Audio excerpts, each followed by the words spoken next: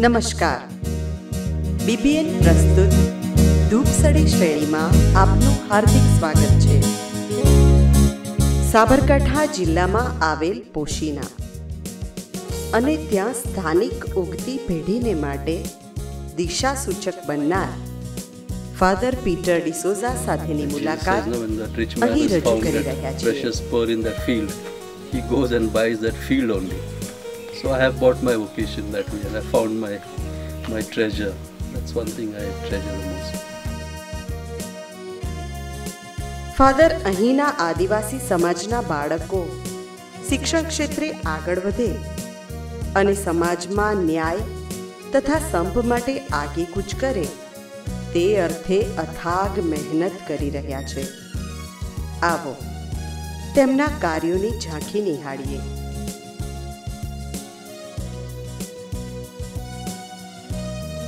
તેમનું નાનું ઘર.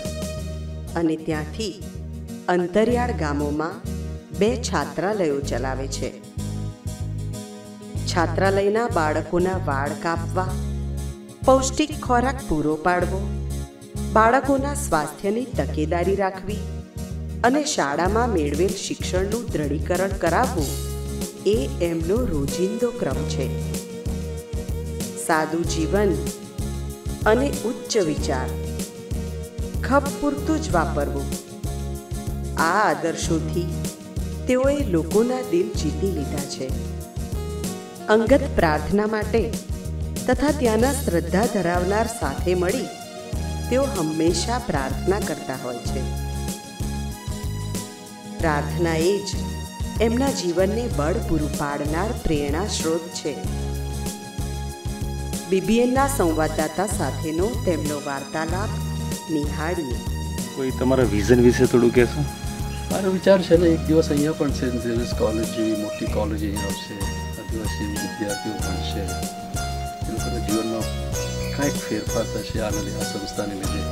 થશે ચોક્કસ પણ મોટા પાયા પર. એક દિવસ અહીંયા તો સ્પોર્ટ્સ એકેડમી પણ હશે અને college of journalism college of Adivasi culture all this make up one day I hope so. I have a dream that yes, if not me, 50 years from today when I'm not there also, something will have already been planted and it will grow and grow. There's no doubt in my mind. All the mission stations begin in a small, humble beginning. But I already see the tall skyscrapers against the backdrop of that hill there. And lots of Adivasi teachers and professors working in this area. Ultimately also I want them to experience God's mercy and kindness. Father પીટરનું સ્વપ્ન સાકાર થાય તે માટે તેમને શુભેચ્છાઓ અને પ્રાર્થના